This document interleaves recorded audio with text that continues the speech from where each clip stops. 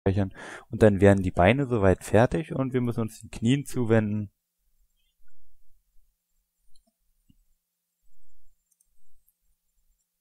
Und dazu werden wir natürlich hier wieder unsere Werte ja, rauskopieren. Und wir sind jetzt hier beim linken Knie. Und da fangen wir wieder an, diese Werte uns zu kopieren. Wie gesagt, die Methode ist äh, relativ einfach, allerdings auch, ja, es ist viel Kopierarbeit. Im Endeffekt versichert uns, uns aber einen komplett symmetrischen und gleichen Animationszyklus.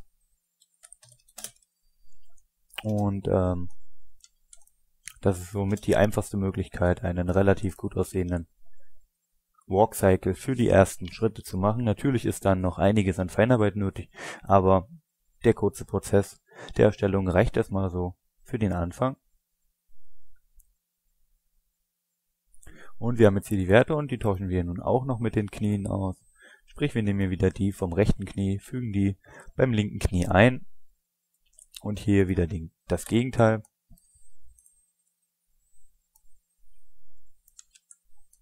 Hier den gleichen Wert. Und hier wieder das Gegenteil. Sprich ein Minus davor. Dann können wir das Ganze auch speichern. Und das gleiche werden wir nun hier mit dem rechten Knie auch machen. Sprich vom linken Knie die Werte. Und hier das Gegenteil. Hier nehmen wir den gleichen Wert vom linken Knie.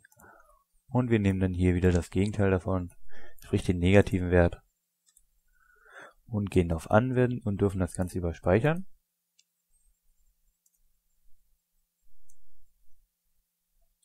Wenn wir uns nun die Animation einmal anschauen, sehen wir, er macht einen Schritt. Und er zieht dann hier hoch. Und das Ganze ist so sehr schön. Und nun kommt natürlich die letzte Animationsphase. Und dazu wechsle ich wieder in den Animationslayout. Und dieser wäre jetzt beim Frame 45 wir selektieren uns also die 15, da wir ja sehen hier, Frame 15 ist ähnlich wie Frame 45 wieder mit den beiden Beinen auseinander. Und dazu duplizieren wir uns wieder, indem wir auf die Steuerungstaste drücken, draufbleiben und dann einfach diesen Frame rüberziehen. Haben wir jetzt den Frame dupliziert und wir gehen natürlich jetzt wieder in den Standard Layout. Und jetzt fangen wir natürlich wieder damit an, die beiden Werte zu vertauschen. Und das können wir jetzt ein wenig schneller machen. Sprich Rechtsarm, uns die Werte kopieren.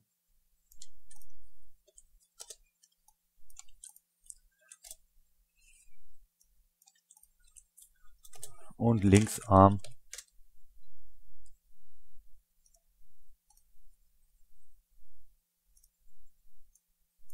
und hier natürlich auch die Werte kopieren.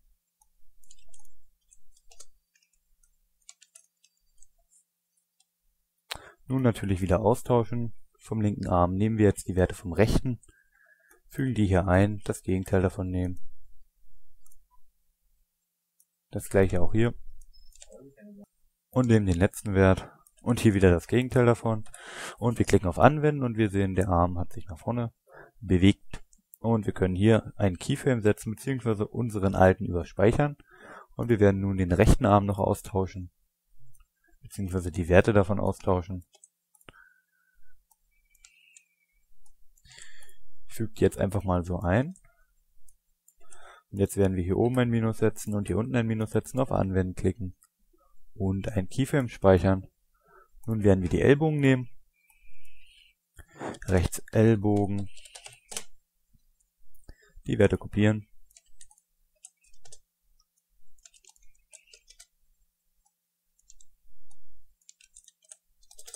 Und links Ellbogen und auch hiervon die Werte kopieren.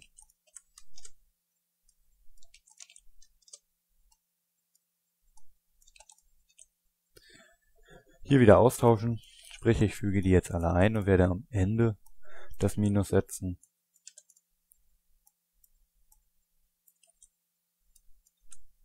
Also oben beim Heat ein Minus und beim Blank ein Minus auf Anwenden klicken und das Ganze jetzt als Keyframe speichern und nun dem rechten Ellbogen zuwenden hier die Werte vom linken einfügen.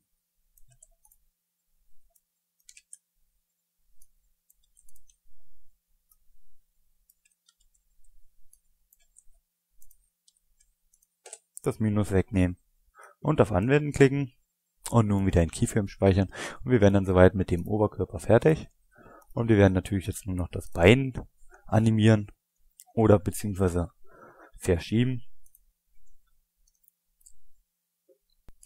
Dazu fangen wir natürlich wieder beim linken Bein an.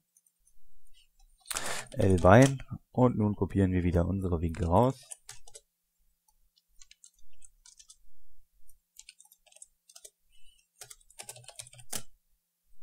Und das gleiche jetzt mit dem rechten Bein.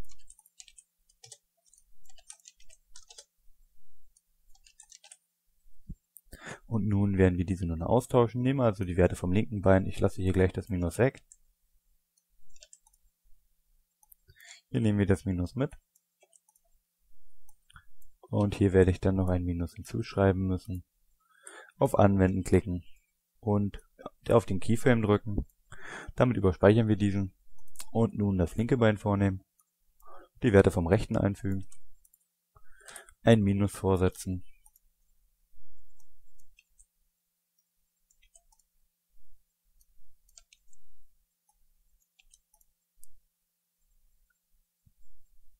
und hier das Minus wegnehmen. Und auf Anwenden klicken. Und wir können dann auch hier den Keyframe speichern und nun uns dem letzten zuwenden, und zwar den Knien. Und dann wäre die ganze Arbeit auch schon soweit getan.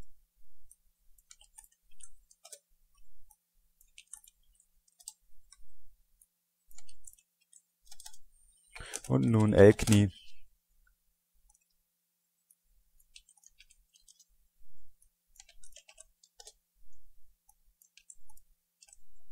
Und jetzt natürlich wieder austauschen und wieder darauf achten, die entgegengesetzten Werte bei Heat und bei Blank.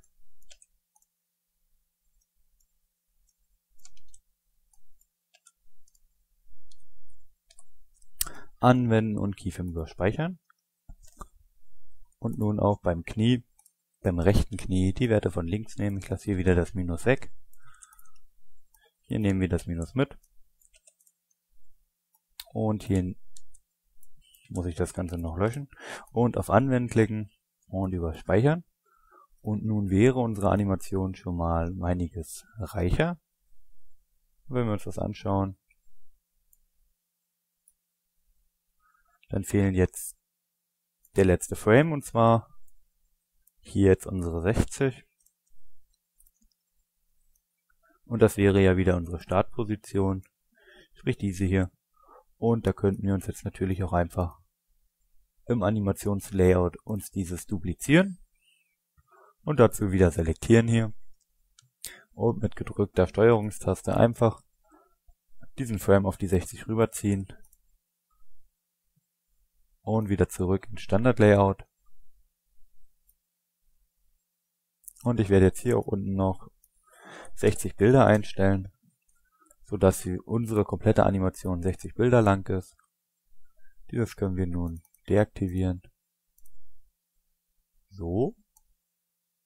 Und wir haben nun einen halbwegs anständigen Walk Cycle.